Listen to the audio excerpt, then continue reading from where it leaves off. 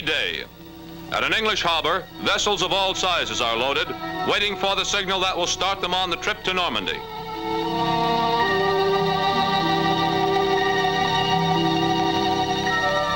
Ships of the invasion armada are crowded with troops and materiel. A cameraman of the 4th Combat Camera Unit, attached to the 9th Air Force, makes the trip in this LST, along with other Air Force personnel who are to move in directly behind the advancing ground forces to set up airfields. The signal is given for the flotilla to move out.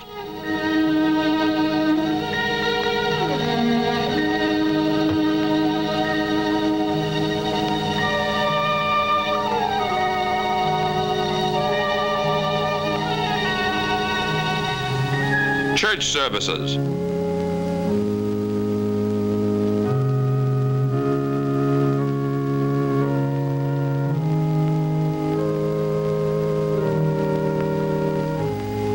Some rest.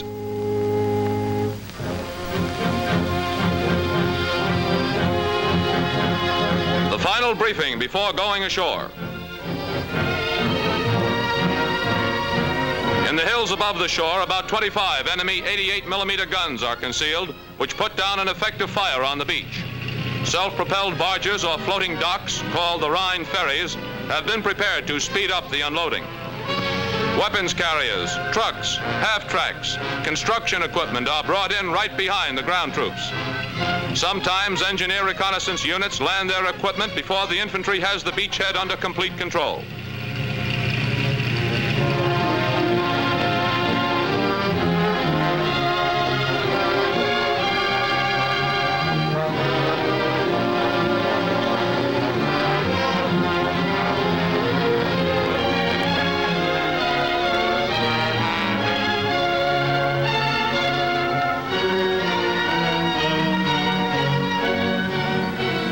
Planes and naval artillery shell and bomb enemy gun emplacements on the hill.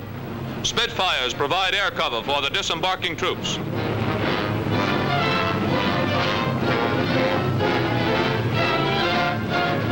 Successive waves of men and equipment land. Infantrymen, under sniper fire on the beach, clean the sand and salt water out of their rifles, while the Rhino ferries continue to pour men and supplies ashore. The motors of these vehicles have been waterproofed to permit driving them through the surf for a short distance. Bulldozers go ashore early. Speedy construction of airstrips on captured territory is extremely important.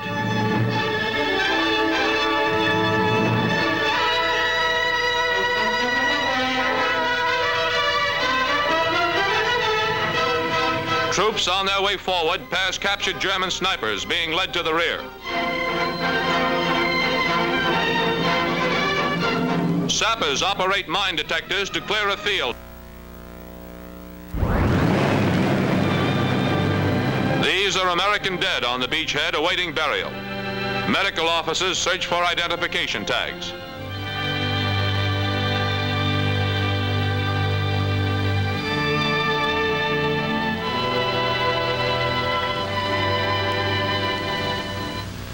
Riflemen move. Marauders of the 9th Air Force fly over the invasion surface fleet, past the beachhead to strike at enemy concentrations.